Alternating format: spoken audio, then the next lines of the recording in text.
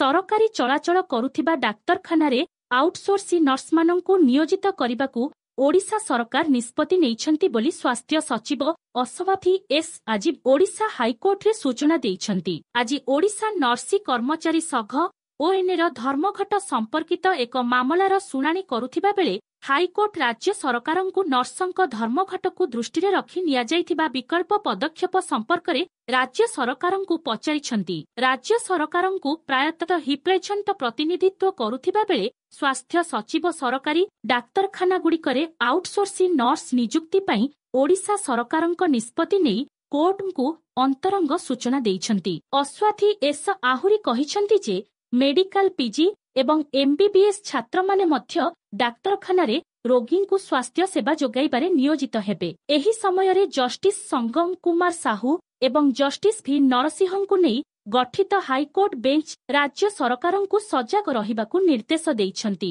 ନିଶ୍ଚିତ କରନ୍ତୁ ଯେ ନର୍ସମାନଙ୍କର କାର୍ଯ୍ୟ ବନ୍ଦ ଯୋଗୁଁ କ ପେସେଣ୍ଟ ନସି ରୋଗୀ ଅସୁବିଧାର ସମ୍ମୁଖୀନ ହୁଅନ୍ତି ନାହିଁ।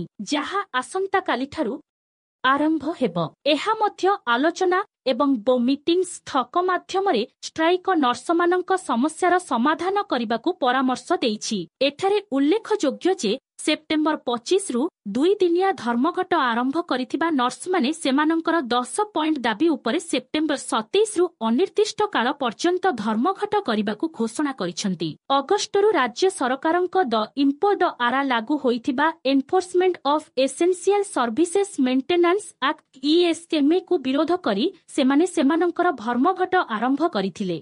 ଗତକାଲି ଓଏନ୍ଇଏର ଏକ ପ୍ରତିନିଧି ରାଜ୍ୟ ସରକାରଙ୍କ ସହ ଏକ ବୋ ମିଟିଂ ଠକ କରିଥିଲେ ଯାହା ସ୍ୱାସ୍ଥ୍ୟ ସଚିବ ତଥା ସ୍ୱାସ୍ଥ୍ୟ ନିର୍ଦ୍ଦେଶକଙ୍କ ଦ୍ୱାରା ପ୍ରତିନିଧିତ ହୋଇଥିଲା ତଥାପି ଏହା ଅସ୍ପଷ୍ଟ ରହିଲା। ଅନ୍ୟପକ୍ଷରେ ଇଏସ୍ଏମ୍ଏ ବଳବତ୍ତର ଥିବାରୁ ବିରୋଧୀ ନର୍ସି ଅଧିକାରୀଙ୍କ ବିରୋଧରେ କାର୍ଯ୍ୟାନୁଷ୍ଠାନ ଗ୍ରହଣ କରିବାକୁ ନର୍ସି ନିର୍ଦ୍ଦେଶକ ସମସ୍ତ ରାଜ୍ୟ ସ୍ୱାସ୍ଥ୍ୟସେବା ସୁବିଧା ମୁଖ୍ୟଙ୍କୁ ଚିଠି ଲେଖିଛନ୍ତି। କାର୍ଯ୍ୟ ବନ୍ଦ କରିବା ଆରମ୍ଭ କରିବାକୁ ଓଏନ୍ଇଏ ଭାବରେ ଆଉଟସୋର୍ସି ନର୍ସମାନଙ୍କୁ ନିୟୋଜିତ କରିବାକୁ ଓଡ଼ିଶା ସରକାର